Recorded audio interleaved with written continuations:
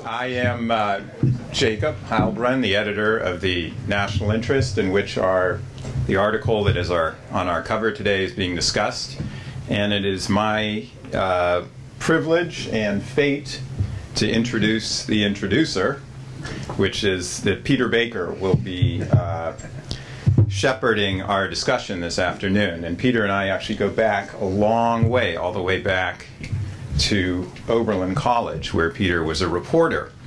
And in that capacity, he actually wrote about some of my exploits as the head of the Republican Club at Oberlin College, which was a somewhat mixed blessing since uh, it was during the latter years of the Reagan era, and Reagan was not the most popular president on college campuses at that time. Uh, so Peter Peter was kind enough to agree to uh, to guide our discussion. He's also served as a reporter in Russia together with his wife Susan Glasser. It's also a friend of mine, and I wanted to, uh, as part of my job, I wanted to before Peter takes over, I wanted to also point out we have a number of other interesting articles in this issue, including a uh, piece on Hillary Clinton and the Clinton, what he calls the Clinton Doctrine by James Goldgeier, who is a uh, former uh, government official and the dean at American University. And we all, I also have a piece on the GOP versus the world, and we called his Hillary versus the world. We'll be doing an event on that in, in a few weeks and I hope you'll take a look at the entire issue, which I think is quite strong, including, of course, Dimitri and Graham's piece. Peter? Thank you. Uh, well, thank you very much for, for, for having me. Thank you very much to everybody for coming. Uh, I think it's going to be a great and fascinating discussion. And um, now, it's true that Jacob and I did get to know each other at Oberlin College. Now, I'm going to tell you my memory of this. And since he's already sat down, he can't rebut it. But my memory is that actually Jacob was in charge, tell me if this is wrong, in charge of something called the Moderate Caucus, because in, at Oberlin, that was the most conservative group on campus. Come on, that's true. That is true, you know? And like any small faction, it split into two in a doctrinal and personal uh, uh, schism that uh, I think remains unsolved to this day. But Jacob has survived and uh, prospered as uh, one of Washington's smartest and most uh, original thinkers. And I think what he's done with the national interest since taking over has been fabulous. And, and he did, in fact, work with my wife, who's also a, a terrific editor, and, and, and, we're great friends. So I'm, I'm, I'm thrilled and honored uh, to be here um, today to talk uh, and to introduce our two speakers. There, now, their piece here certainly the cover uh, it would be great in the search engine optimization world right? Countdown to war is not subtle. But the piece is subtle and it makes some interesting points and provocative points that i think we can uh, we can chew through today. And, I, and I, I, recommend that you read it and uh, and, and think about it and, and uh, argue about it if you feel like it uh, uh, but but definitely take it under consideration because uh, uh, what's happening right now in the world, and particularly in American Russian relations and, and, and European Russian relations, is obviously of great import and something that deserves thorough and and and and and, uh, and, and, very intelligent debate, which we uh, in the newspapers sometimes encourage and sometimes don't. So, our two speakers really need no introduction from me. Uh, probably everybody in this room knows them uh, extremely well, but we, of course, have Dimitri Simes, uh, the president and CEO of the Center for National Interest, and our host, in effect, today. He's also Jacob's publisher, publisher of the National Interest, uh, of course, and, and, responsible for this great magazine. Uh, everybody knows, of course, probably born in Moscow, educated at uh, Moscow State University, emigrated to the United States in 1973, uh, became, of course, uh, one of President Nixon's, uh, former President Nixon's sort of informal foreign policy advisors, and then uh, his selection to head this center. Uh, going back quite a number of years, he's also worked at uh, SAIS at Johns Hopkins University, at uh, Center for Strategic and International Studies, and University of California at Berkeley. Uh, and I just got back from Moscow, I think, three weeks ago, so he has a very fresh, on the ground take on what's going on there that he'll share with us today. Graham Allison, of course, again, everybody knows uh, Graham Allison, and, and, and nobody needs me to tell you about him. But he's director of the Belfer Center for Science and International Affairs. Uh, and the Douglas Dillon Professor of Government at the John F. Kennedy School. Of course, he was the he's considered the founding dean of the modern Kennedy School, which uh, he led from 1977 to 1989. Uh, he's been an advisor to presidents uh, and secretaries of defense going back many, many years, and he hosted me at a very interesting conference about uh, maybe about six months ago, I think, about Russia that we had up at uh, up at Harvard. We had a, a, fascinating group of Russians and Americans got together to talk through some of these very same issues. So I think with that, let's go ahead and open discussion. Each, I think our our our our talk our speakers are going to start for about 10 minutes apiece. Is that right? And then we'll open it up for questions from the audience.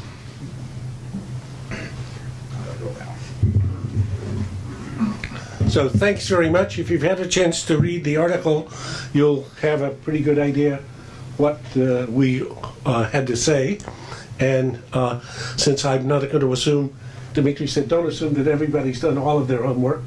Let me uh, try to provoke you with four questions just very briefly. So first, could, the, could Russia and the U.S. be stumbling to war?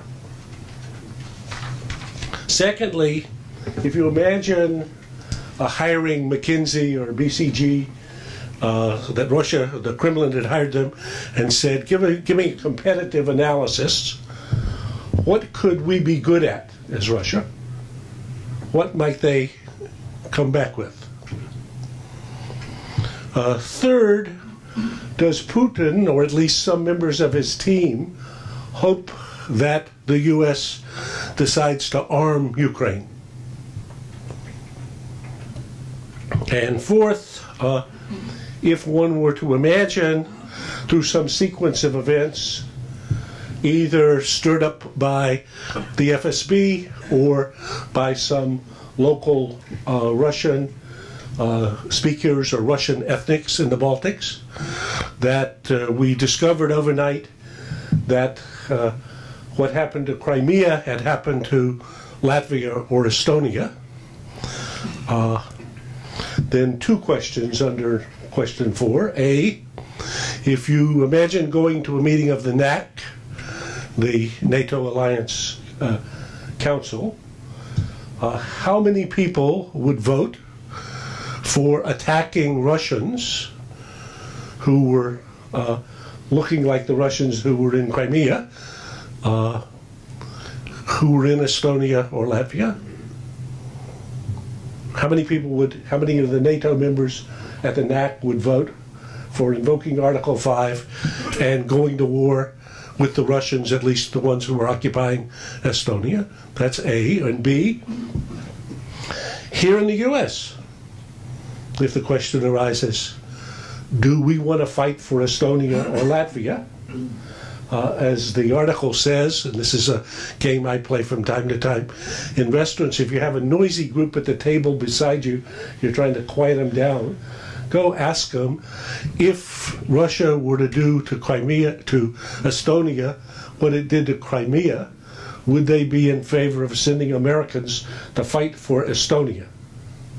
And you'll see they'll become quiet at the table. Uh, maybe they'll get out their iPhones and search for Estonia. Uh, so uh, let me go through the questions just very quickly, the answers. Uh, so could Russia and the U.S. be stumbling into war? Or uh, another way to put it is uh, when we say that war is between U.S. and Russia is inconceivable, is this a statement about what can happen in the world? Or rather, a statement about what our limited uh, minds can conceive? And I would say the latter. And I was saying to Britt uh, last night when I was thinking about coming down, I uh, uh picked up my Churchill book, which is a place where I usually start and stop. And here, if we go back to 1914, William, uh, or uh, Churchill was 39 years old. He was the first Lord of the Admiralty, which is the cockpit of national security for Britain in the Empire. So he's responsible. And he's in London. This is now 13 July. The Archduke was assassinated the 28th of June, so this is two weeks later. And Clementine, his soulmate, his wife, is in uh, Scotland, where they go every summer, telling him, let's get out of London and come to, it's time for vacation. This is summer for Brits. So he writes home to her a letter every night. And the letters are just spectacular. Just spectacular. So here on the 13th of July, he writes with various items about the parliamentary session, and it would continue to the end of August. The new session will begin in December. Asquith is keen to come to see you on Monday to take you to ride on his yacht. Uh, so be nice to him. Well, you must try and make the effort. I'm sure it'll repay the exertion. There's no mention whatever of any storm clouds in Europe. None. None. Indeed, what's the issue that he writes to her about? Again, you have to test of your history here. Ireland, yes. of course, the content, here's what he writes. He says there's a problem of, you know, there's a risk of war. Of course, the contending parties may think it, it's worth a war. And from their point of view, it may be worth a war. But that is hardly the position of 40 million people who dwell in Great Britain. And their interests must be first when all is said and done. So this is about the war between Ulster and Ireland, not about Austria or Germany or others. Go then to uh, uh, July 25th. They have another discussion. He's writing to Clementine. And he says, okay, the Irish issue is getting even worse. And I don't know how it's going to come out. But then he says, for more than an hour, the ministers talked. This is the cabinet meeting on the 25th. Eh? This is five, eight days before war. The discussion uh, reached its inconclusive end. Churchill writes, and then he says, and the cabinet was about to leave when the grave, quiet tones of Sir Edward Grey, that's the foreign minister's voice, were heard reading a document which had just been brought to him from the Foreign Office. It was the Austrian ultimatum to Serbia, delivered almost a month after the assassination. So again, for whenever we think things are inconceivable, I would say we should go back and read our history because we're not likely to be wiser or to have greater foresight than Churchill. Churchill actually had a need to be thinking about the problem. And I'm not criticizing Churchill in this case, I'm just reminding us how stuff happens. Okay? Point two if uh, a, a super consultants were hired to find the competitive advantage of Russia, what might they find? And we do discuss this in the article, and this is a discussion that goes on at least among some Russians whom I know. And the answer is well, surely if we look at the US or Europe or China, it's not economics. So, what is it that we Russians can do that other people don't do? That we do better than they do? We can fight. We can threaten to fight. So I think Putin has in mind reminding people about the power that comes out of the barrel of a gun. And certainly many Russians whom I talk to would say Europeans won't fight under any circumstance for anything, and Americans are exhausted from fighting. So, where's, where does our comparative advantage lie? Third question. Does Putin want the U.S. or does some members of the Putin uh, clique uh, uh, want the U.S. to arm Ukraine? That seems almost inconceivable to most people until you work through the logic.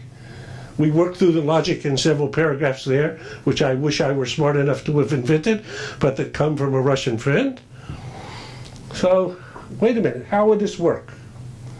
So the U.S. complies with the strong view held by many in the Senate, for example, McCain and Lindsey Graham, that we should arm uh, Ukraine so they would be able to raise the costs for the Russians whom they're fighting or the separatists. Is there any weapon we could provide that Putin couldn't match or trump? Is there something Putin's prepared to do that we're not prepared to do? Namely, put boots on the ground, either acknowledged or unacknowledged. And especially if we should be arming Ukraine, this would give him a pretty easy out from what is now a very implausible lie about there's no Russians involved in this picture. Yeah? So again, I'm not uh, subscribing to this hypothesis altogether, but I think the proposition that in this game Russia has escalation dominance sounds right to me, and that from a Russian point of view, the idea of getting somebody to play a game in which I trump them sends a very powerful message, especially to the Europeans who would be watching. Finally, the fourth question if we imagine, God forbid, that some set of circumstances lead to little green men or special forces and security services uh, overnight taking over the capital of Estonia or Latvia. What to do? So I would not like to be the U.S. representative to the NAC. Burt can tell us what about that, to see how we're going to get a vote, to fight, even to use the basis from which the U.S. would fight. Now, I hope that's wrong, but I certainly, if I were in Moscow, I would do that calculation. And similarly, from the U.S., how many Americans would be enthusiastic about a war over Latvia or Estonia? And I try this out on students at Harvard from time to time. These are only undergraduates, and what do they know? Most of them can find Estonia or Latvia on the map, but the idea that they should have colleagues fighting there seems to them way, way, way out of their mind. So this is a dangerous, dangerous, dangerous situation. And again, if you were playing the hand for Moscow, and especially if things go right, that is, in the right direction in Moscow, and badly in the U.S. Russian relationship, the idea of, well, do we have any trump cards? Especially if we're prepared to be gutsy, and how could we play them, and what would the consequences be, I think are troubling. Now, the article is not only pessimistic, but it is trying to be realistic about the risks. The question in none of these is to give up, in my view. Okay? That is, I would vote to fight for Estonia or Latvia, even though that might end up in Americans, it would end up in Americans killing Russians and vice versa, and put you in a chicken game that could escalate to hell. Yeah? So I don't say that lightly. I would say that's the back to the worst of the old Cold War. But that's the case the way I would vote.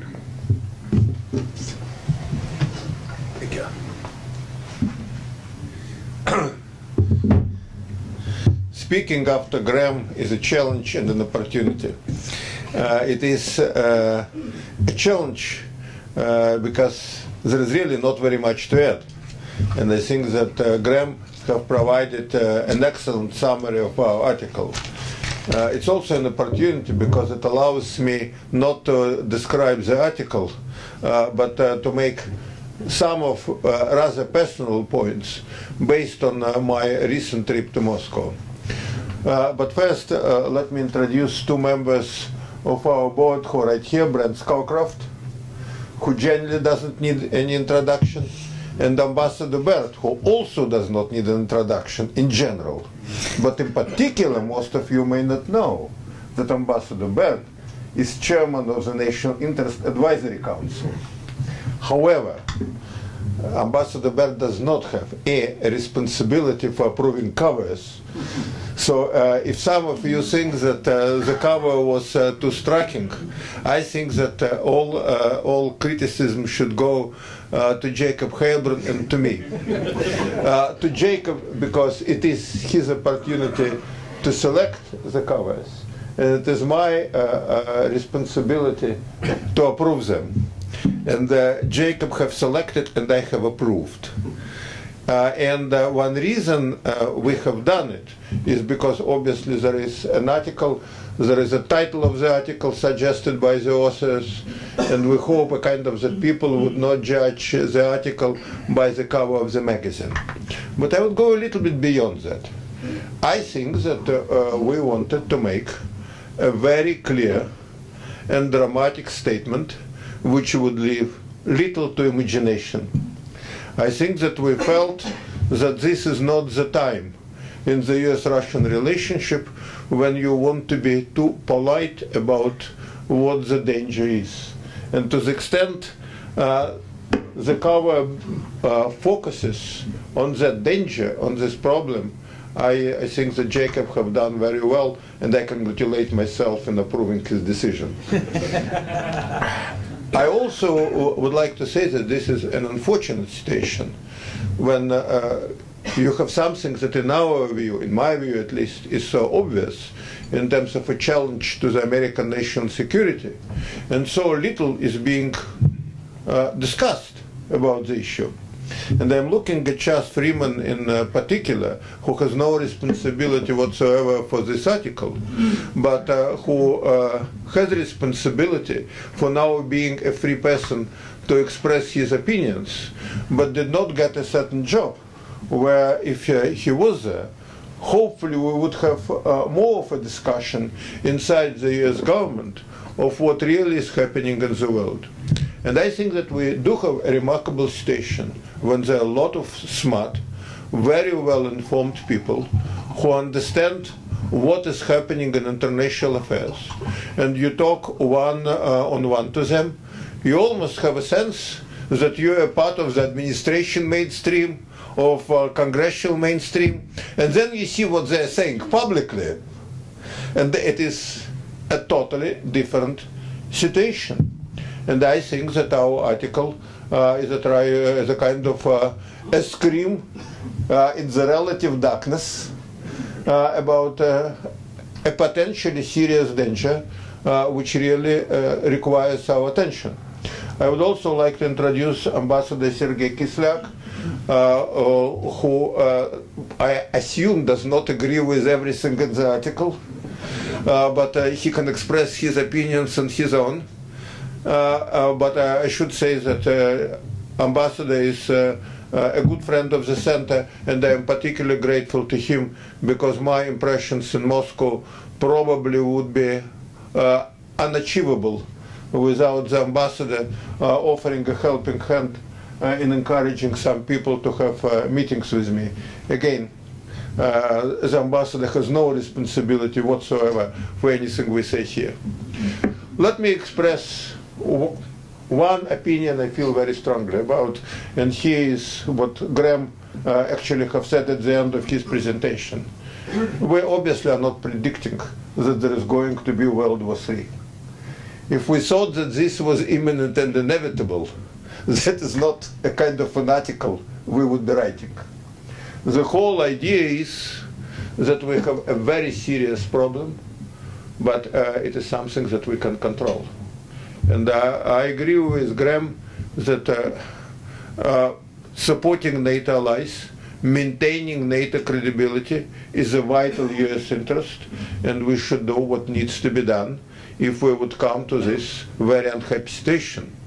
I also think uh, that it would be much better if we don't have to come to this unhappy situation and that we will be a kind of cautious and serious about uh, the road we are taking. Uh, in Moscow, incidentally, uh, if you look at President Putin's statements, he is not much different from President Obama.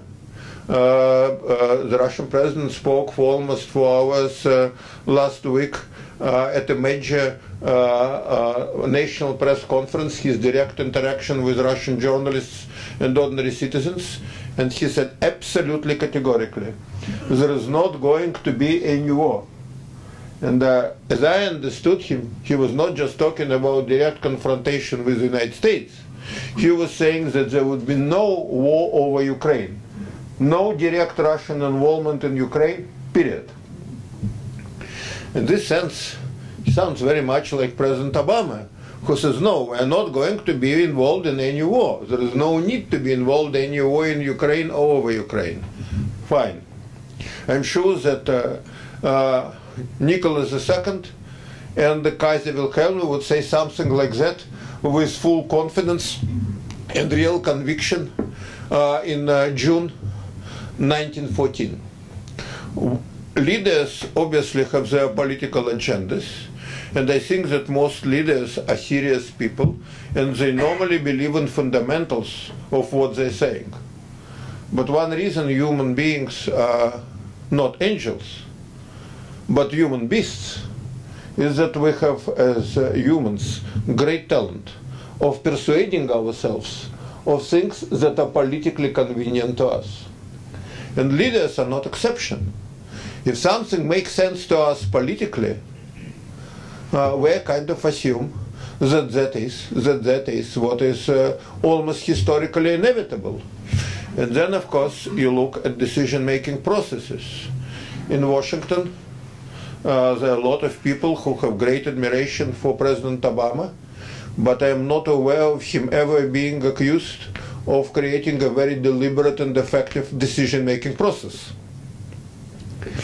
Uh, in Moscow, President Putin has some quite impressive foreign policy and national security advisors. But uh, my impression is that he is a sole decider. And uh, it is not my impression that there is a mechanism for a deliberate uh, national security decision-making process in Moscow. Uh, there is National Security Council. Uh, the leader, the secretary of this council is General Patrushev, who is a very experienced national security official, former director of uh, so, uh, so former director of FSB, uh, the KGB successor agency, the role in which he replaced uh, uh, several other current senior Russian officials, Sergei Ivanov, and most notably, of course, uh, President Putin himself. But if you would look at uh, the bureaucratic machinery of the Security Council, the way the Council operates, and I was able to talk not just on this trip, but more generally, both uh, to regular members of the Russian Security Council and, uh, uh, and to people who are on the staff of the Security Council, it's pretty clear to me that this is not a body where people put on the table uh, different opinions, where you have a vigorous debate. Uh, whatever is being presented to President Putin in terms of his making decisions is normally done uh, rather confidentially and uh, without many opportunities uh, for others in the government who may disagree with this point of view uh, to challenge the president. And uh, uh, Putin in Russia is not just uh, the president. Uh, people uh, uh, publicly very rarely uh, refer to him as President Putin anymore. In a way, it would be uh, almost demeaning. He is Putin. Uh, he is uh, clearly a cult figure, a person who is much bigger than his official position. Uh, and uh, there is no question that even more than uh, in the United States, everybody in Russia, in the Russian government, serves at the pleasure of the president. Uh, the difference is that in the United States, there is a role for former officials. There is a life after resignation. There is not much of that uh, in Russia. And uh, accordingly, there is even less uh, inclination uh, than in Washington to tell unpleasant things to the number one. So you have to understand that uh, both President Obama, even more so President Putin, uh, may genuinely believe that we are not on a dangerous track because we are reasonable, because we have many other priorities, because there is absolutely nothing uh, in a confrontation over eastern Ukraine for the United States, and uh, probably even for Russia, that would be worth risking a global war. The trouble is that as the leaders say how they don't want military confrontation with full conviction, what in fact they are seeking is a victory without war. Uh, both sides have their own agendas, and both sides show uh, little inclination to uh, compromise on what they can consider fundamental and what they believe their countries should be entitled to. And Graham and I discuss in the piece how uh, US and Russian perceptions of what is the narrative on Ukraine, what is involved in the conflict, they are very uh, different indeed. Now, in my conversations in Moscow, uh, I got a strong impression that President Putin and a number of his uh, key advisors, particularly Foreign Minister Lavrov, uh, particularly people uh, in the economic bloc uh, of the government, including uh, first Vice Prime Minister Shuvalov, that these are all people who not only don't want confrontation with the United States, but who do understand that putting Russia on a war footing, that having a prolonged conflict with the United States, that uh, it may be uh, detrimental not only to Russian international interests, but also to Russian domestic stability, which is a kind of a priority number one for uh, the Russian government.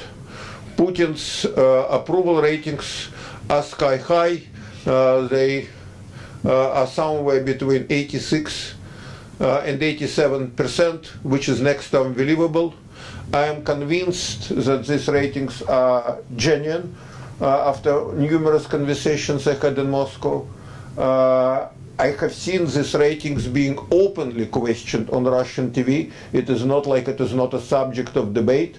I have listened to uh, leading pollsters who are in opposition to the government and who were allowed to appear on Russian TV and to express their skepticism. But about everybody said that this is a genuine figure. But then what people say that that reflects not necessarily just Putin's personal popularity, but also to other things. First, the Russians are a kind of, I shouldn't say monarchists at heart, but the Russians like a concept of one supreme leader. And uh, when you have such a leader, uh, unless things go very badly, they're inclined to support that leader. In this case, obviously, President Putin. And the second thing is there is a sense of inevitability. There is no uh, nobody else on the Russian political scene who would look to most uh, Russians uh, as a possible alternative to Putin. Certainly not Prime Minister Medvedev.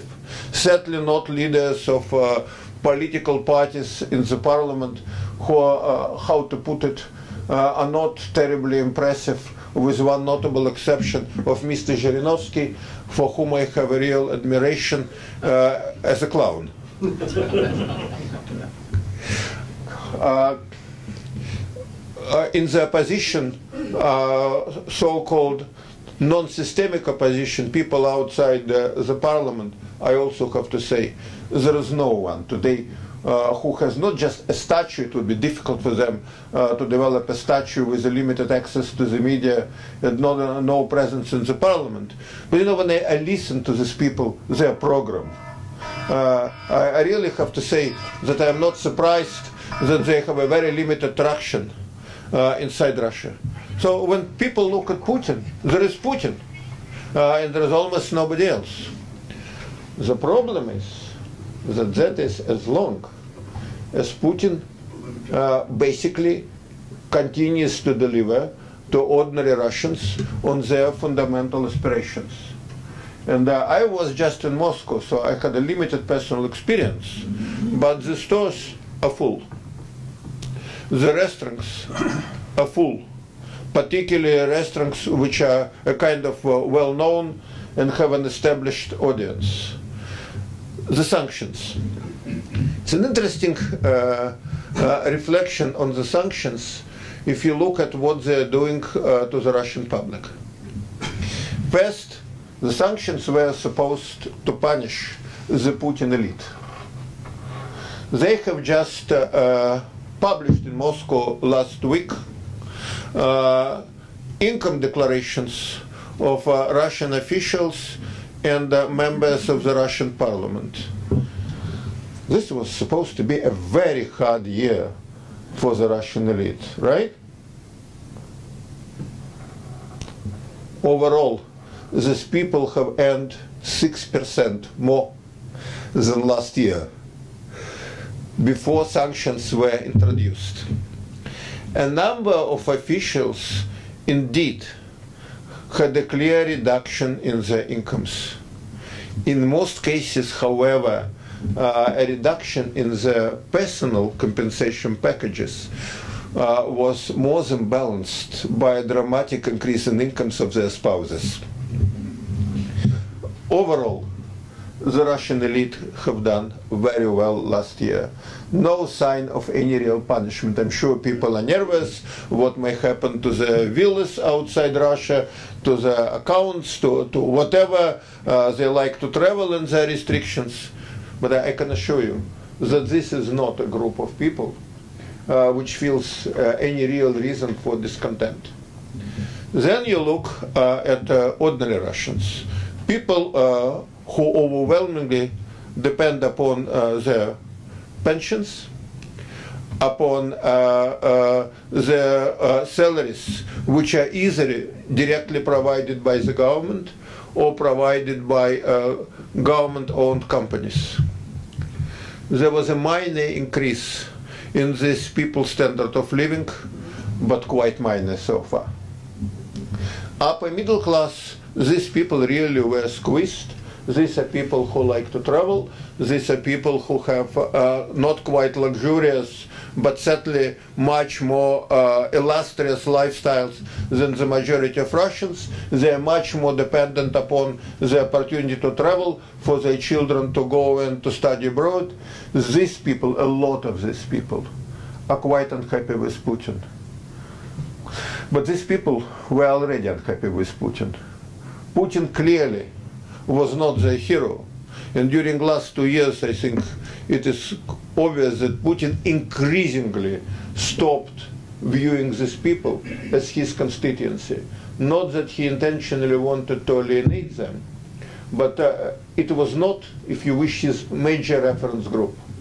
The ordinary people are still with Putin. I do not know at what point of economic deprivation this would begin to change. But at a certain point, it might begin to change. Uh, and if that happens, of course, all these opinion polls, they may uh, go down the drain very, very quickly. And I think that political advisors, Putin's political advisors, key members of the cabinet, that they do understand it. And that is why I think they don't want to rock the boat. That is why they uh, uh, uh pretend that Russia is no ways militarily involved in Ukraine. I have not seen convincing evidence that there are Russian forces in Ukraine. Uh, but I have to say that uh, anyone who is watching Russian TV would know that you have leading uh, Russian politicians from the uh, pro-Putin uh, party in the parliament.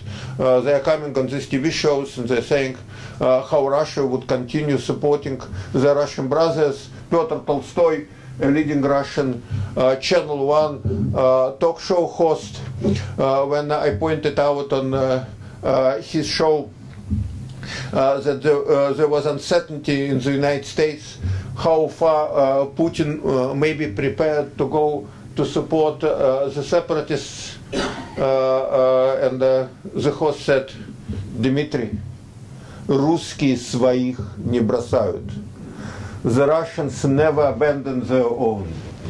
And there was a real ovation uh, in response to this statement. So it's pretty, it's pretty clear that Putin, at this point, not only for foreign policy reasons, but for domestic reasons, does not want to create an impression that Russia is really a party to the conflict in Ukraine.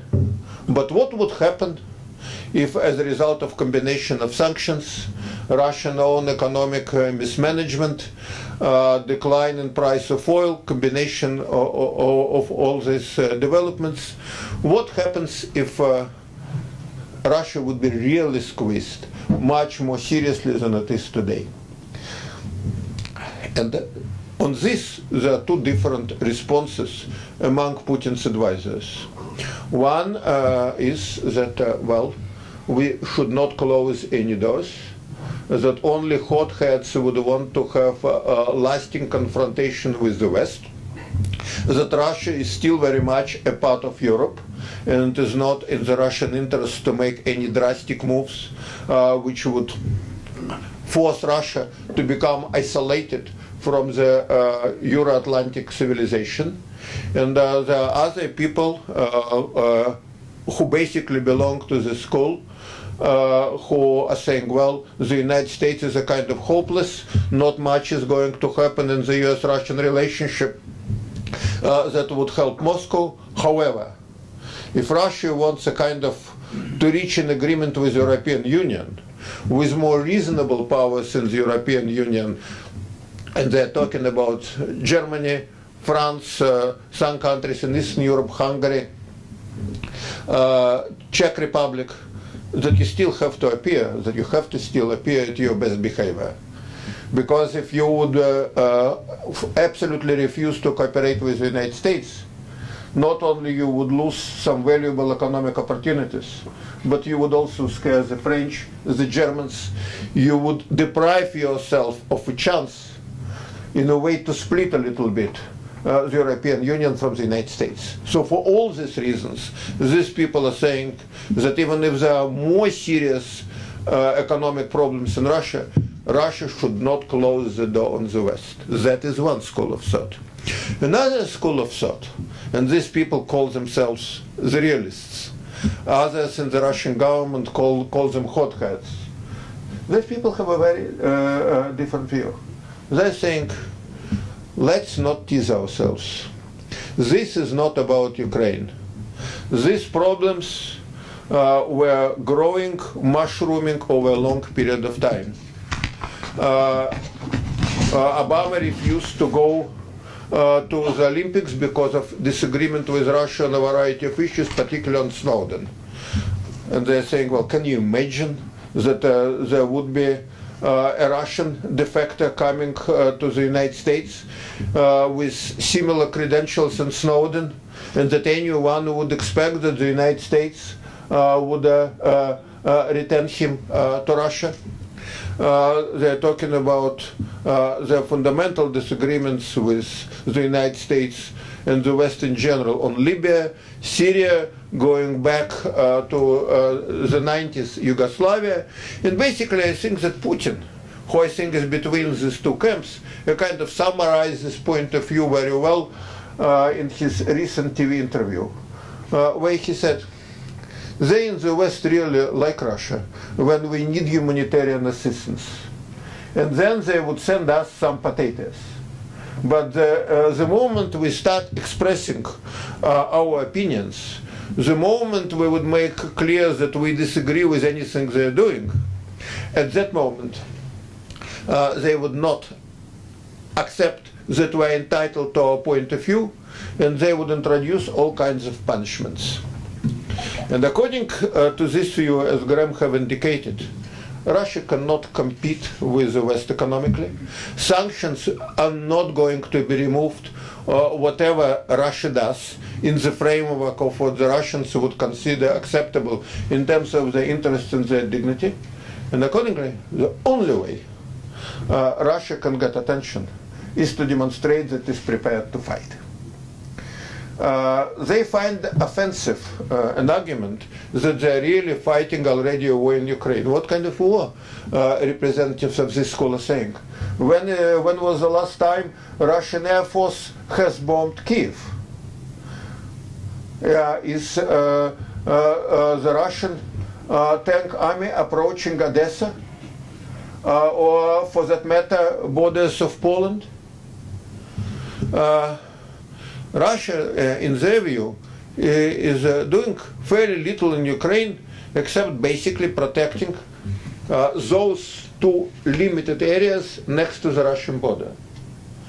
Uh, and perhaps the only way for Russia to be taken seriously, according to this point of view, is to demonstrate that Russia is prepared to do more, much more. And uh, if Russian uh, economic situation really goes downhill, that would be an argument for these people, not for a greater moderation, as the Obama administration would hope, but on the contrary, for a much more robust response on Moscow's part. Now, they don't want war. They certainly do not think uh, that uh, it is advisable for Russia to attack uh, Latvia or Estonia. Uh, what they do think uh, that uh, they have an escalation dominance in the region. What they do think that Obama is bluffing when he's saying how he would protect Baltic countries no matter what. They assume that Obama believes that he would never face this choice. And I think that uh, they would be prepared, uh, like um, major powers before uh, uh World War One. On one hand, to assume the West about intentions of their opponents, but also I kind of think that their opponents are rational and would know when to stop. And uh, you find a lot of this thinking uh, in Moscow we were, my wife and I, at a dinner with uh, an important Russian official. And I have to say that my wife increasingly uh, was losing her appetite as the conversation was uh, uh moving increasingly in the direction of what the Russian military uh, would do uh, if it would if it would really come to that. And then we came back to Washington and uh, we uh, got a song uh, from this very charming, and I mean it literally, and smart woman who is also an accomplished singer and an accomplished songwriter. And the song was uh, about uh, Russian mother sending her son to war. They have a son. Sending her son to war, and knowing that he probably would not come back but feeling an enormous sense of pride that her family once again would be prepared to stand for Russia and to do what the Russian people expect privileged families really do in a moment of trial. And she felt like she was a mother of a Russian officer sending her son to Borodino. And here I will stop.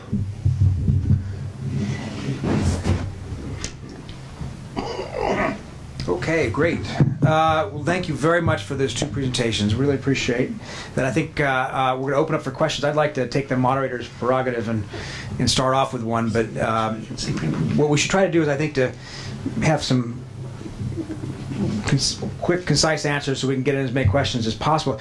I'd like to start off though. You, President, uh, sorry, Prime, Prime Minister uh, Medvedev today said that the Russian economy has lost 26.8 billion dollars because of low oil prices and sanctions, and that the economy has shrunk by two percent in the first quarter of the year. Uh, he says this is the price we have to pay for our position, and that uh, no matter the cost, we had no other way. So I guess the question is, you've laid out a pretty uh, stark scenario in which through stumbles like before World War One, Graham mentioned in the article you talk about Pearl Harbor. Um, if, if, if, if there's a stark scenario in which we could stumble into war, then what is the right approach that the West uh, at this point should take uh, in responding to Russia uh, that would be short of uh, ceding, in effect, what they won't cede. Just uh, again to be quick, it seemed to me, I th I think uh, that the current policy is to punish Russia for unacceptable behavior, but uh, a strategy has to have an objective as well as a as a means. And so, to what objective? And if I hear sometimes a discussion, the objective is that Putin will say that he was sorry and go back home or something. And uh, it seems to me that's not in this world.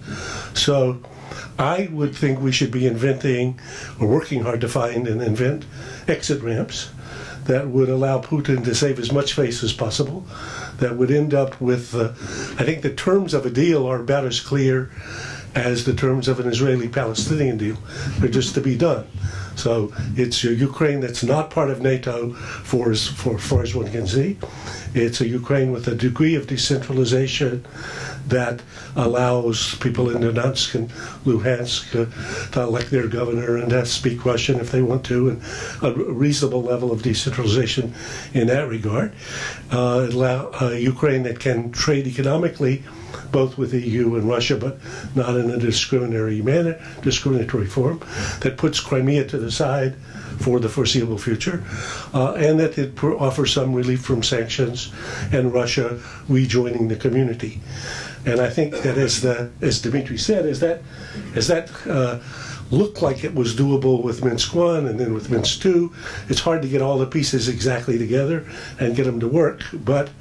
Uh, uh, that would be good enough for me.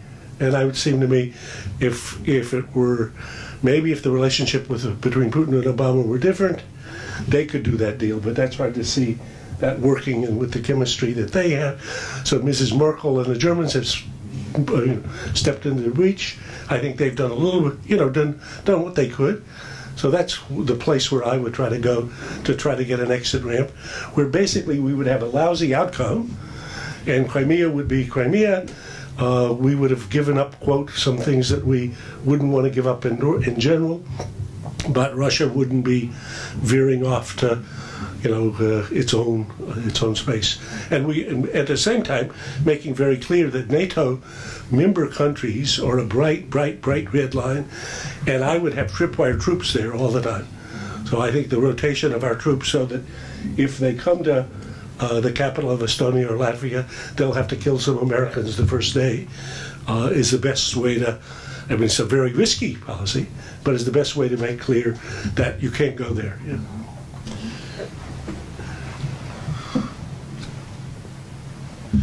As I was talking to people in Moscow and trying to understand their positions, uh, the person who uh, I uh, came to feel was most committed to uh, keeping uh, Donetsk and Lugansk as a part of Ukraine was Vladimir Putin and his close advisors. That is not Putin is uh, a peacenik, not because he's an altruist, not necessarily because he's a great believer in uh, Ukrainian territorial integrity. It's uh, practical. It is because, first and foremost, he, uh, as I was told, understands uh, that uh, without Donetsk and Lugansk and of course Crimea, Ukraine demographically would be an inherently hostile country. Uh, if you would look at the demographics of Ukraine, without these regions with a strong Russian population, you would have to assume that Ukraine would be a country totally hostile to Russia. And that's not uh, what I was told uh, Putin wants. The second uh, thing is uh, that uh, Russia uh, needs to assure that Ukraine would not go into NATO. the best way for Russia to assure that is to give enough autonomy to these eastern regions that they would have a veto power or at least a lasting break on Ukrainian membership in NATO. And then there is a third thing. Uh, these uh, uh, two uh, regions, Lugansk and Donetsk, are terribly devastated. And for Russia to accept a full economic responsibility for their recovery, while Russia would be under sanctions, when they would get no foreign investment, that would be quite challenging to the Russian economy. And you know, uh, we were talking about Russian political stability which is a priority number one uh, for Putin, it would be in the long run detrimental to Russian political stability. People are willing uh, to uh, pay for the Russian glory, for the Russian imperial glory, but only up to a point. That suggests to me that we have an opportunity, if we really are interested in still protecting Ukrainian territorial uh, integrity. Uh, again, unfortunately or fortunately, without uh, uh Crimea, uh, but these regions would be a part of Ukraine. These regions would have to accept full authority of the federal government on fiscal matters, on foreign policy, on national security. Uh, we need to understand that the Ukrainian government will not be happy with this arrangement. Uh, because the Russians are not talking about a pro forma autonomy. They're talking about an autonomy uh, uh, which would not require them to pay for these regions anymore and which would give uh, these regions a role uh, in formulating Ukrainian strategy toward NATO. And the second thing you would have to expect if you are Ukrainian, that other regions with strong Russian populations, uh, that if they see uh, that this autonomy was uh granted to Donetsk and Lugansk, you may expect questions from Kharkov, Dnipropetrovsk. It would be a genuinely challenging arrangement for the Ukrainian government. In my view, however, if we uh, offered the Ukrainian government a combination of a genuine security guarantee of uh, real security assistance coupled with a kind of tough love when we would tell them that that is what, what they need to accept with a clear understanding that they would restore their control over the border, uh, that uh, it would be a unified Ukraine. I think that if we have done that, you can see how you can get, get out of this spiral of uh, escalation and potentially miscalculation. But it's not going to be easy, and as Graham said, it would require real political will. Let me do just two, two more one-liners on it, because yep. I think Dimitri and I agree mostly, but slightly to disagree. First, I would say that the image that Putin has a big idea of what he's doing in Ukraine, I don't believe at all. I think he stumbles from one day to the next. Uh, I think that's how he got into Crimea, and I think that's the picture now. I think he will often portray things as if, well, if we could arrange this this way and that that way, this would be good enough. I think that's like uh, drawing on a on a piece of paper without too much control of the reality. That's number one. Number two, I think in terms of the economy. Ukraine will probably fail economically before it fails in security terms. I mean, Ukraine was a basket case for 22 years and it hasn't changed. It's only gotten worse. And there's nobody uh, going to come and provide any substantial amount of funds for Ukraine. Not the U.S., not the Europeans. So I would say, again, as, as Putin looks at it, he's looking at a at a problem, an economic problem as opposed to the other. And then third and finally, I think Putin's understanding of economics is zero. Okay, so I think he has no idea why things go up or why things come down. It's all mysterious to him. It'd be just as well he was doing brain surgery or otherwise. And so I think that in terms of what therefore is happening, he's just sort of getting, you know, one day a piece of information, another day, which is what makes one more worried. Yeah. Let's uh, let's see if we can open up for some questions real quickly. I think we start over here. Barry, the American Foreign Policy Council. Uh, I share the author's concern uh, that we're in a greater danger of armed conflict than we have been in a great many years. But there hasn't been much discussion that that conflict, if it were to come, would primarily take place in Europe. And Europeans have some views on this. One of the things we have done by expanding NATO is to create a much more fissured and fragmented alliance than we ever had during the Cold War. I don't think it's a big secret that there are a lot of people in Germany today who are more worried about Washington than they are about Moscow. Uh, and there are a lot of people in the major European countries that are willing to make compromises about Ukraine over Ukraine's head that Washington is not. So I'd like to hear a little discussion from the authors about the transatlantic aspect of this issue. I mean, clearly there are differences about what, not just about the nature of sanctions, but what sanctions are intended to do. The Europeans, from my point of view, regard sanctions as engagement with Russia by other means. Whereas in this city, the sanctions are really about isolation, containment, and ultimately regime change in Russia. Those are very, very different things. So there there, has been references to the alliance, there's been reference to the Europeans.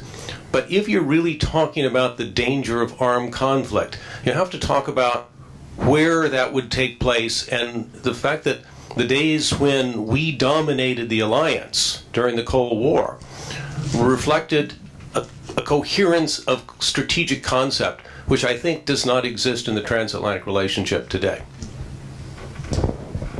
That's a very provocative question. A very good question and a big one, but just to try to be brief, I'd say mostly I agree with the with the with the uh, uh, the statement that's embodied in the in the question. I think that uh, NATO uh, is certainly the greatest alliance in history and was absolutely crucial in victory in the Cold War, but uh, has largely become an American security blanket and guarantee for Europeans who've become postmodern. And postmodern means war is obsolete and it's not part of their agenda. Uh, and you can see this in their military forces, which basically are not about fighting. And that's actually uh, something that Russians have picked up on, as, as was mentioned in the earlier piece. So uh, uh, you can see in reaction to what happened in, in Ukraine, therefore, a kind of a shattering moment for lots of Europeans, thinking, wait a minute, maybe there is still uh, people in the world who use force to advantage or thinking to advantage. And, uh, but uh, there's a debate that goes on back and forth of whether this is enough for us to have to ever re defend ourselves or whether we need to simply hide behind the Americans. And and then when you hide behind the Americans, but yes, how dependable are they? Maybe they're going to be more aggressive than you want to be. So just Wayne, this is exactly what you said. I think the the sanctions component, I've been very surprised how effective uh, the alliance has been in holding together the sanctions against Russia, which I would have thought were would have been undermined otherwise. And I think that's a lot of credit to the Obama administration and to Mrs. Merkel, who've worked together quietly with respect to that.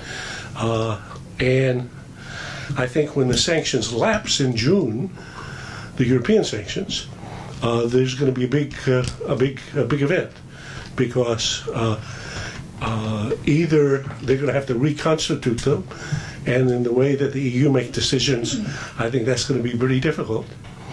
Or then there'll be some partial. So I think a number of the people in Moscow are looking for that to be the occasion for things to unravel there a bit, and for there to be a division between the Americans and the Europeans. And again, if you were just playing at great power politics from Moscow, splitting the Europeans from the Americans is where you need to go because American politics is going to be anti-Russian for as far as you can see, uh, and therefore uh, looking for those opportunities, and that's that. That would be the place I think to look. Plus, Putin's working very hard, and the Russians underneath the table or around the table, uh, as for example in you know, Hungary. Uh, real quickly before we move to other questions, does Ambassador Kislyak want to add something to that? Yes, uh, I thought that microphone is here not by coincidence. and I wanted to use it to prove that I, I'm a friend of Nixon Center, but do not necessarily agree with what it says. I would like your permission for a couple of comments rather than question, because I've been listening to this discussion and I was taken aback about what we are discussing in the 21st century possibility of war between the U.S. and Russia, how to influence uh, a leader of Russia to submission, not to allow this. I know, I understand, I hope I understand the intent of the authors, and they want to send a warning as to where we can go if uh, some reason isn't applied. But looking at all this debate, looking at what is being discussed uh, instead of things that are important, uh, I'm rather disappointed. Because the whole issue of Ukraine is not between US and Russia, with due respect of your interest to be able to influence everywhere. It's not about you. It's not about Russia and Ukraine. It's about Ukrainian government not being willing or able to talk to their own people. That's the biggest point that is largely missed in overall debates in the United States. As far as we are concerned, what occurred in uh, Ukraine in February last year was a coup. A legitimate government was overthrown, and uh, it was overthrown by force. And the United States chose to support what happened and to support those who committed these actions. And that's where we do not see eye to eye. And that's the basic thing. All other are derivatives of this issue. So if we are serious, and here is, I think, one of the most intellectually sophisticated uh, group of people one can imagine, if we are seriously thinking as what to do in order to bring some normalcy to our relation, one need to look to the core of the situation. I will say a couple of words about it. But before that, I would say that even Dmitry, with due respect, who certainly knows us much better than many other American friends, uh, knows our psychology because he, he has grown out of the same. Uh, he, he doesn't fully represent the Russian thinking, the role of the president, and how things are being uh, developed in Russia. A couple of points. Putin certainly is a very strong leader. He enjoys enormously high popularity. popularity. 86% is, I think, record high, not only for us. And the decision making that is uh, working in Russia assures that whatever the president does enjoys full support of the people. And here I think to apply the kind of American thinking about how American policy would have worked in Russia in forging decision doesn't apply. We have Security Council, and uh, most probably we haven't been present at the council. I had the chance. And it's very vigorous debate. And to represent it as a kind of rubber stamping uh, uh, mechanism is big, big uh, understatement, if not uh, to suggest else. Secondly, the whole issue of what Russia wants, uh, the character of Russians, that Russia wants to draw attention to it by using the best of its ability, and the best is certainly fighting a war. That is absolutely uh, unthinkable. First of all, Russia is a self sufficient, quite powerful econ- economy. The way it is represented here, uh, like it being in shambles, is dead wrong. It's developing slower and more difficult now but it, uh, than it used to be. But listen, during the times of the presidency of Putin, the net income of the Russian family increased almost tenfold.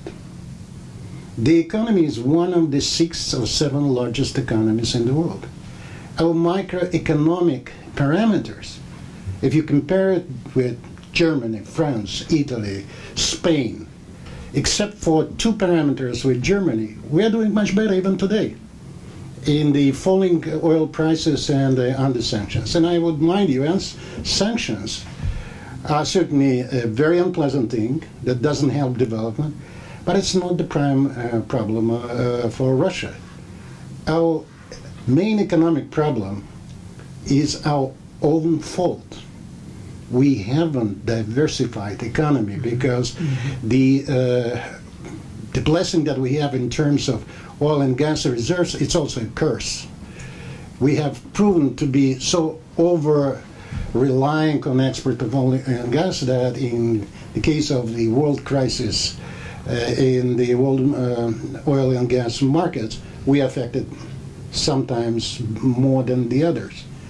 Sanctions is just additional nuance, but they're certainly felt. But it's also an opportunity. As a result of sanctions, you will see the Russian industry will be growing because it gets impulse, it gets better market inside Russia. If you look at the uh, food market, it's spectacular change that occurred within this year, with Russian uh, stuff appearing uh, and easily competing with the imports. And it's something that certainly isn't coming uh, lightly because it brings some inflation as well. But it's going pretty well. Moreover, you also do not understand here because you don't live in Russia that people living in Russia do not care too much about the exchange rate and the prices uh, of education uh, for the kids in uh, abroad because they're very limited number of people who were willing to do so or were able to afford it anyway. And those who spend their weekends in Courchevel in France, they can do it even today because they do not care too much about the exchange rate because they earn much, much more. So look at the figures that Dmitry gave. 86% of support, so 14% are not maybe fully supporting. Out of this 40%, it's only a small por uh, portion of the people who do suffer from the drop of, of the price. What people care about is somewhat different in economics. It's inflation rate. And that is something that the government is focusing now because that is something that will be defining the ability of the government to sustain economic commitments that it has made. And I would say that in some peculiar way, the uh, drop uh, in uh, ruble rate towards dollar brings more rubles in taxes on oil and gas exporting companies. So if you look at the uh, balance of Russian uh, federal budget, it went only 0.25%, less than 1% deficit.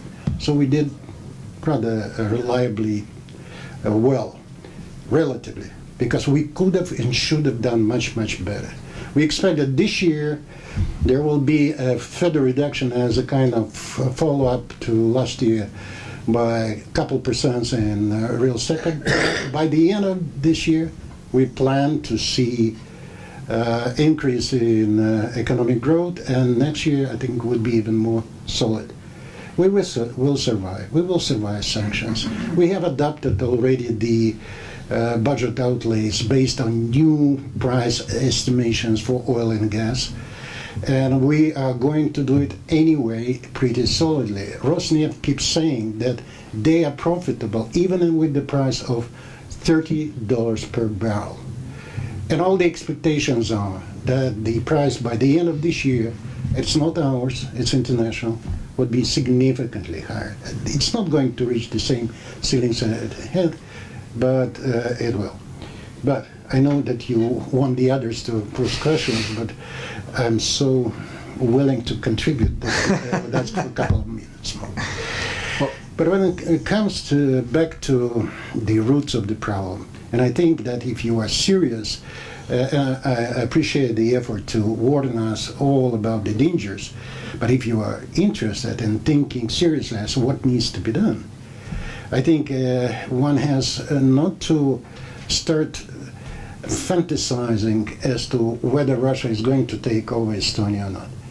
It's it's mind-boggling even to hear because we are not contemplating anything of this sort. And had Russia uh, thought about something outrageous like this idea, you, understand it, uh, was so easy in the past. We never contemplating anything of the sort, and I do not see any reason why it can occur. But what we see happening next to Russia is the stark increase of the presence uh, of NATO forces, uh, making uh, trainings, uh, maneuvers, the number of flights of NATO forces next to our borders has quadrupled, I think.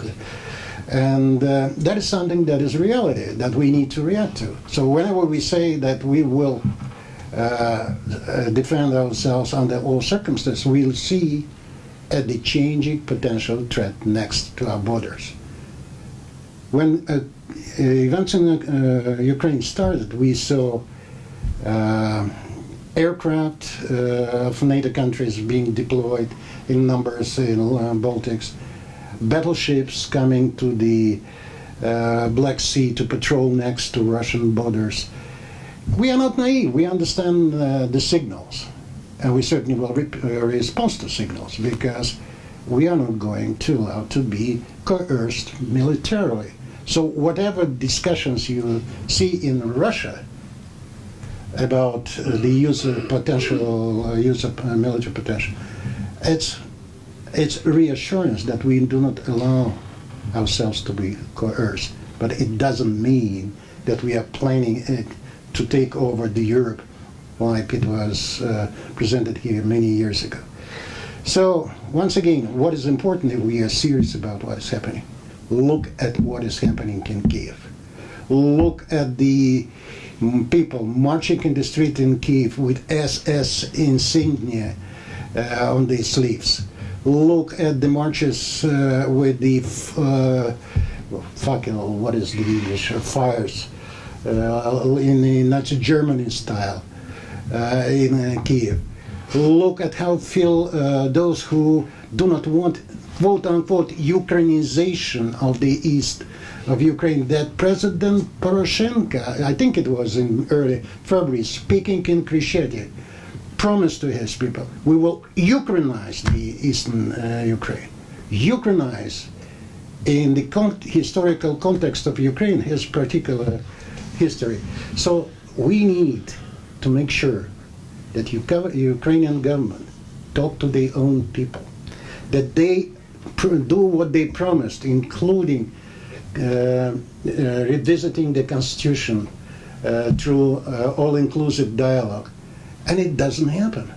No dialogue, no implementation of the promises of economic help to the region. Nothing of the sort is being implemented. That is the problem that we need to. Can, can. I, I, I? We definitely want to have more questions. I want to ask a very quick one if I Yeah. can, though. But it's not my- I- well, I know, but since you've, you've raised the issue, I, I spent four years in, in Moscow. Christian and others around here have spent more years living in Moscow than I have. And what struck me about the time that we were there was how Russia, for all of its disagreements with the West or other parts of the world, wanted to be integrated with the world. It wanted to be part of the G8. It wanted to be part of the WTO. It wanted to be part of these international institutions. And now, uh, you, now it's going backwards. And I wonder, and, and, and your, I understand your point about the, the what you call a coup in Kiev, but the truth is, most other countries who have been involved in this don't see it your way, and you are being you're now you're now been excluded from the G8. Uh, the sanctions have been applied. Is there a feeling that you are going to be isolating yourselves from the outside world that you spent so many years trying to integrate into? With due respect, the United States and G7 countries is not the whole world. No, of course not. But the dozens of countries that have Secondly, involved themselves in things are changing, they have. and the G7 operating without Russia loses its uh, ability to influence because it's once again a Western closed club. With Russia, it was something more balanced, and people were listening to what G8 was telling because Russian presence gave a different look to the uh, statements that we have made as a G8. If G7 wants to leave as G7, fine, Godspeed. We will continue living uh, the way we have.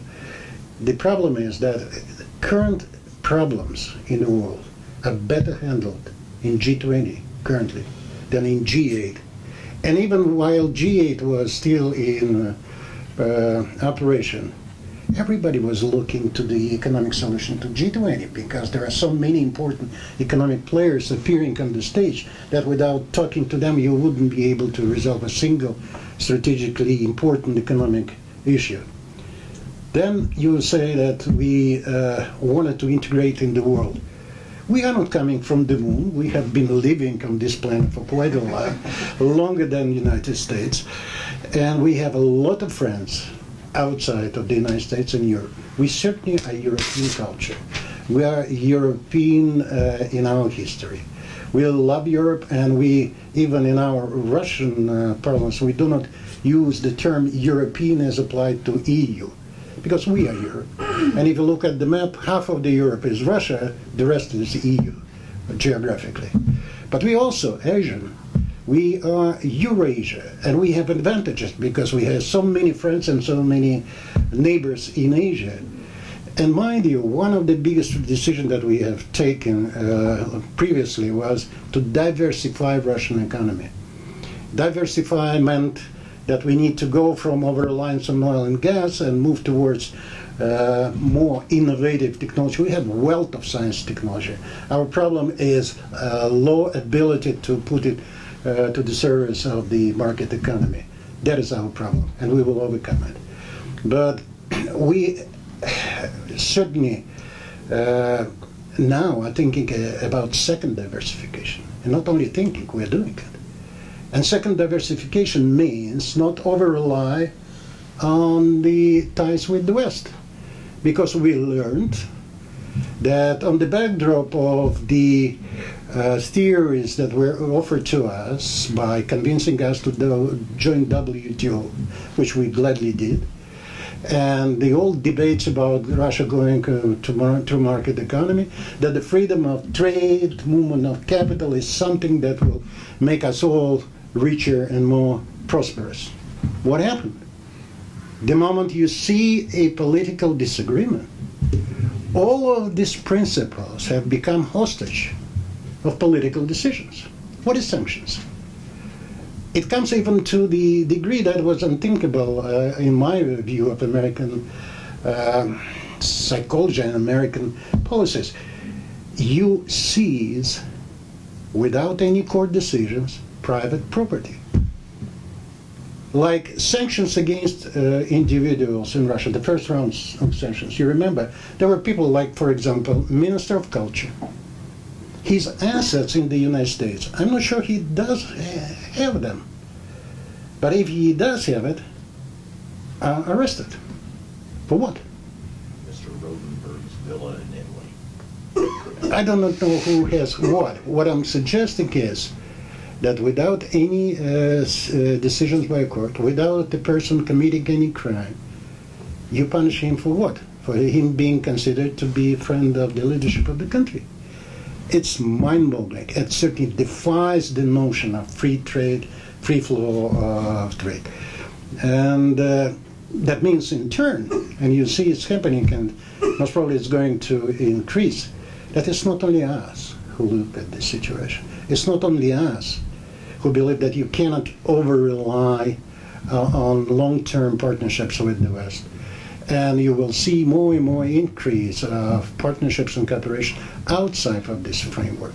You will see um, significantly more willingness of the other countries to trade in a way that would be less dependent on dollar system because it is uh, vulnerable to political decisions, uh, uh, one-sided political decisions. You see already happening. Uh, BRICS have established a bank with $100 billion worth of initial capital. Our Chinese friends are launching any uh, bank that is go- not going to be dependent on uh, the dollar uh, system. And by the way, a number of Europeans rushed to join in. We also are going to be co-sponsor of this idea. Look at the new deals uh, uh, concluded in Asia, not by Russia, but Russia also, among others. We all prefer now to think how we are going to trade bypassing the dollar system. And it's certainly something that I hope to be able to say in 10 years, sit in this room with these people and to discuss how the world has changed. It will. Let's try to bring in some questions here. I'm sorry. How about behind you? Uh, Dick Solomon Rand. I want to try to go back to uh, Graham's initial point about the dangers of a strategic stumble or a strategic surprise into a conflict. And I think we need to look at the situation in a broader context.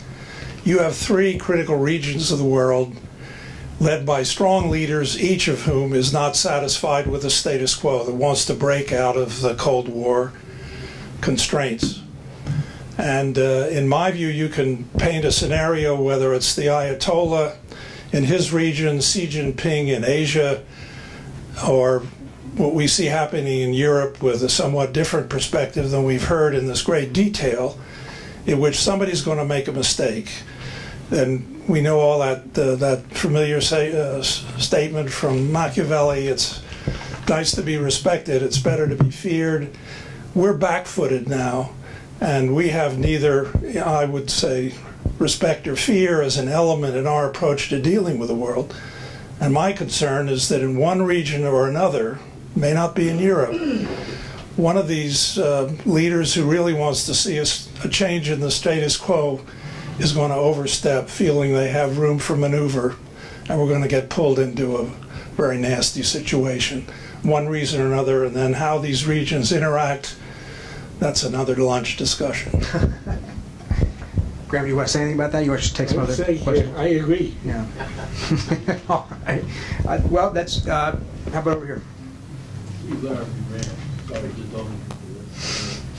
Um, I'd just like to say one, one word. I think the article is by far and away the best thing that has been written in quite a while about the, the relationship. I don't agree with every point, but the attempt to understand the situation as seen from Moscow is, I think, a real uh, contribution. And if you look at it that way, then a lot of what Putin does, in fact, is logical. Does he want us to arm the uh, Ukrainians? I'm sure a part of the the, the in- inner circle does, particularly the military part, because as you say, that would therefore justify him taking other actions. But you, when you get up to the beginning, you mentioned going back to the Cold War. I don't think, I think we would be envious of being able to do that. In those days, you had a very aging, conservative leadership in, in Russia and the Soviet Union that really was interested to a large extent in stability and strategic stability and didn't want to change the status quo. In Putin, you have just the opposite. You have a risk taker uh, who has taken a couple of risks and he has seen, lo and behold, that it works. He's seen the future and it works. Could any of you imagine uh, a year ago that Putin would be able to annex uh, Crimea without a shot, uh, all and then have it uh, legally or semi-legally justified and everything in two or three weeks? This is just in, incomprehensible. In the same way that the the article then uh, posits the stumbling into uh, conflict because I can easily imagine, and the, the ambassadors gave an example, uh, and that was that uh, the Russians had noticed all these maneuvers by the United States and bringing exercises and so forth. Well, you were asked the uh, Americans about that, uh, the government officials, they say this was in reaction to something that Russia was doing. So both sides see themselves as justified, and they're doing something defensively against the other. And this danger of the old spiral of interaction here is something that could get out of control. And then if you look what Russia has done recently, raising the nuclear issue. Your namesake, Mr. Ambassador, has said that the United States should think twice because uh, Russia can reduce the United States to radioactive dust. I don't think that really is too helpful. Uh, they, and Russia has, in the last month or so, uh, announced that it will put uh, Iskander missiles uh, in Kaliningrad. It is said that they will put the backfire, which is a nuclear capable uh, aircraft, in Crimea. And this then takes it to another level when we start getting the nuclear issue involved. So I would just say, and, and I now ask my question, if we were to do some of the things that uh, you and Dimitri uh, say, Graham, isn't there a danger in some way that we would be uh, showing that brinkmanship pays?